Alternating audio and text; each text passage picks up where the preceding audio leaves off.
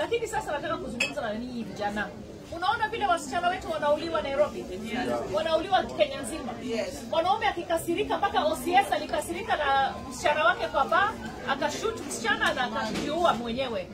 So ninataka kuuliza vijana, ni nini inawafanya wanaume wenzetu ha, wawe frustrated kwa hiyo level ambao wakikasirika wanapiga msichana o wanamuua msichana ha? Ya, wajua ni kweli ni kweli ni- na hiyo ni shida ha? Lakini kitu mimi nataka kuambia lazima wanaume mwanze kuzungumza habari ya hii kitu, kwa sababu wanawake hawawezi kufanya hii kazi wenyewe. Sasa ni mwanaume, ukiona ukikaa na wanaume wenzako uzungumze kuhusu wana, wasichana ambao wanauliwa. Ah, Kama msichana hakutaki, hakutaki.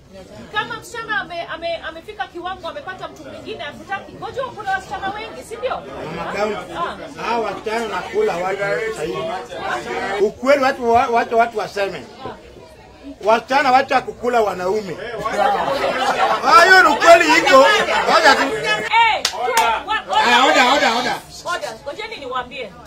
Kama msichana anakula si anaku, anakukula yani umetumia pesa yako kama ule ule ambao aliu- aliua Ivy alisema alimtumia 13k ha? Sasa hiyo 13k alikuwa anataka apewe kitu for it na Ivy mwenyewe hamtaki.